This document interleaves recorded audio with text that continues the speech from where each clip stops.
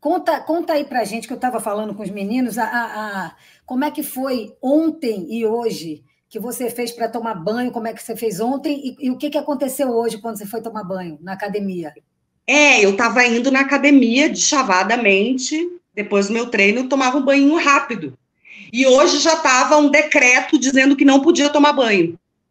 E eles têm uma quantidade X de água que eu acho que provavelmente para os deles, né? Então, mesmo sendo aluno, eles até estavam cobrando a mais quem pagava uma diária para, ah, vou pagar um treino para ir hoje fazer lá um treino, era 50 reais, com banho era 100. com direito a banho era 100. Aí hoje não tinha nem mais banho, acabou tudo. Então, quem eles tomou lacraram. banho, tomou. Quem não tomou. É, eles lacraram, não foi? Ela me mandou uma lacraram, foto. eu te mandei uma foto, né? lacraram, né?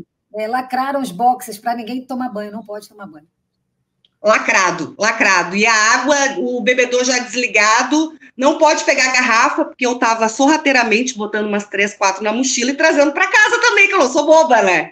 E hoje já não podia também, o bebedor já estava enrolado, não pode mais.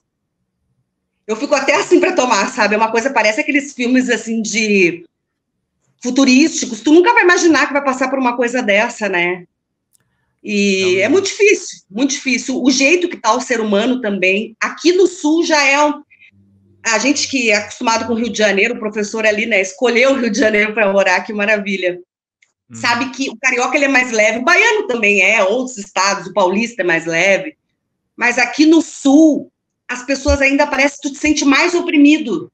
Porque o gaúcho ele tem essa coisa do nariz em pé. Infelizmente, a gente tem que, verdade que seja dita, né? Uhum. Então tá muito difícil. A vontade que a gente tem de ir embora, mas não dá para ir embora porque o aeroporto está alagado também, a rodoviária não existe mais. Então a gente está ilhado, está preso. É pior do que uma pandemia.